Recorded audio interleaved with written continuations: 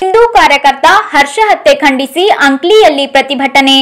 ಶಿವಮೊಗ್ಗದ ಬಜರಂಗದಳ ಕಾರ್ಯಕರ್ತ ಹರ್ಷ ಹತ್ಯೆ ಖಂಡಿಸಿ ಚಿಕ್ಕೋಡಿ ತಾಲೂಕಿನ ಅಂಕ್ಲಿಯಲ್ಲಿ ವಿಶ್ವ ಹಿಂದೂ ಪರಿಷತ್ ಬಜರಂಗದಳ ಮತ್ತು ಭಾರತೀಯ ಜನತಾ ಪಕ್ಷ ಸೇರಿ ವಿವಿಧ ಹಿಂದೂ ಪರ ಸಂಘಟನೆಗಳಿಂದ ಪ್ರತಿಭಟನೆ ಹಮ್ಮಿಕೊಳ್ಳಲಾಗಿತ್ತು.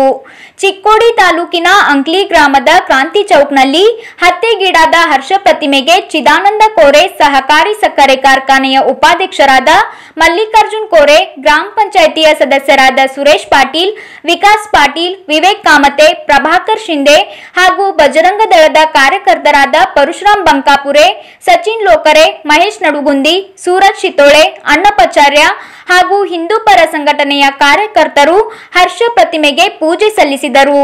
ಈ ವೇಳೆ ಚಿದಾನಂದ ಕೋರೆ ಸಹಕಾರಿ ಸಕ್ಕರೆ ಕಾರ್ಖಾನೆಯ ಉಪಾಧ್ಯಕ್ಷರಾದ ಮಲ್ಲಿಕಾರ್ಜುನ್ ಕೋರೆ ಮಾತನಾಡಿ, ಹಿಂದೂ ಪರ ಯುವಕನಾದ ಹರ್ಷನ ಹತ್ಯೆ ನಾವು ಎಲ್ಲರೂ ನಿಷೇಧಿಸುತ್ತೇವೆ.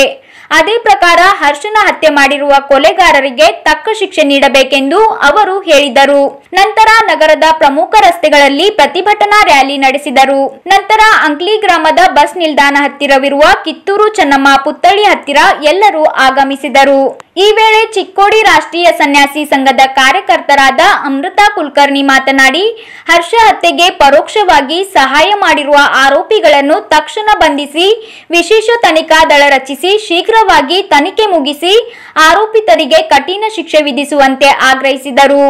ಪ್ರತಿಭಟನೆಯಲ್ಲಿ ಸಂಜಯ್ ಚೌಧರಿ, ಸಚಿನ್ ಕುಟೋಳೆ ಅನ್ನಪ್ಪ ಆಚಾರಿ, ಪ್ರಭಾಕರ್ ಶಿಂದೆ ನಾಗರಾಜ್ ಕಿಲಿಕತ್ ಸೇರಿದಂತೆ ಇನ್ನಿತರು ಉಪಸ್ಥಿತರಿದ್ದರು.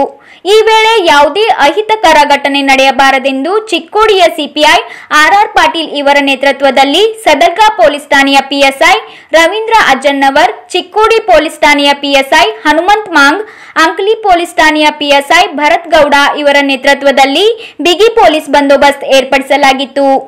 ಐಸಿಬಿ ನ್ಯೂಸ್ಗಾಗಿ ಅಂಕ್ಲಿಯಿಂದ ರಾಜು ದೊಂಗಡಿ ಇವರ ವರದಿ ನಾವು ಕಾನೂನನ್ನು ಕೈಗೆ ತಗೊಳ್ಬಾರದು ಇದ್ರೆ ಇಲ್ಲಿರುವಂತಹ ಹಿಂದೂ ಕಾರ್ಯಕರ್ತರ ರಕ್ಷಣೆ ಜವಾಬ್ದಾರಿ ಇಲ್ಲಿರುವಂತಹ ವ್ಯವಸ್ಥೆ ತಗೊಳ್ಳಲೇಬೇಕು.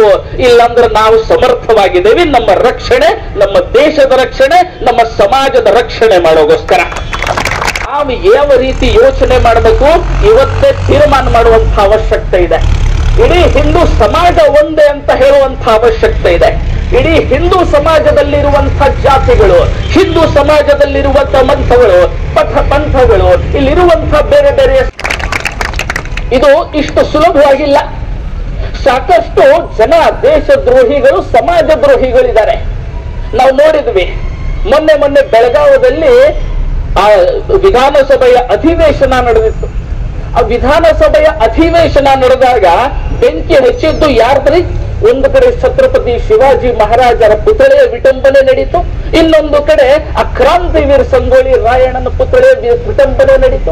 ಒಂದು ಕಡೆ ಭಗವಾ ಧ್ವಜ ಸುಡ್ಲಿಕ್ಕೆ ಶುರು ಮಾಡಿಬಿಟ್ರು, ಅದಕ್ಕೆ ಒಂದಿಷ್ಟು ಜನ ಕವರೇಜ್ ಕೊಟ್ಬಿಟ್ರು. ಇಮ್ಮಿಡಿಯೇಟ್ಲಿ ಸೋಷಿಯಲ್ ಮೀಡಿಯಾದಲ್ಲಿ ಹರಕ್ಲಿಕ್ಕೆ ಶುರುವಾಯ್ತು. ಆ ಬೆಂಕಿ ಎಲ್ಲಾ ಕಡೆ ಸುತ್ತಾಡ್ಸ್ಲಿಕ್ಕೆ ಶುರುವಾಯ್ತು. ಆದ್ರೆ ಹಿಂದೂ ಸಮಾಜವಾಗಿ ಇವತ್ತು ನಾವು ಈ ದೇಶ ದ್ರೋಹಿಗಳಿಗೆ ತಿಳಿಸುವಂತ ಅವಶ್ಯಕತೆ ಇದೆ.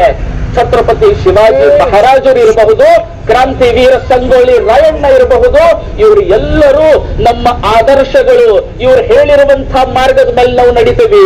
ಇಲ್ಲಿರುವಂತಹ ಎಲ್ಲ ಜಾತಿಗಳು ಒಂದೇ. ಇಲ್ಲಿರುವಂತಹ ಎಲ್ಲ ಭಾಷಿಕರ ಜನ ಒಂದೇ.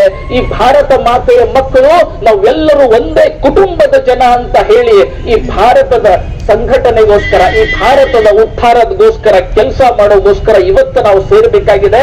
ನಾವು ಈ ರೀತಿ ಒಂದಾಗಿ, ಸಂಘಟಿತರಾಗಿ ಈ ದೇಶ ಕಟ್ಟುವ ಕೆಲಸಕ್ಕೆ ನಿಂತು ಬಿಟ್ರೆ ಇವತ್ತೇನು ನಮ್ಮ ಕಣ್ಣು ಮುಂದೆ ಈ ಹರ್ಷ ಸತ್ ಹೋಗಿದ್ದಾನೆ, ಇವನು ಕೊಟ್ಟಿರುವಂತಹ ಬಲಿದಾನಕ್ಕೆ ನಾವು ಶ್ರದ್ಧಾಂಜಲಿ ಸಲ್ಲಿಸಿದಂಗಾಗತ್ತೆ.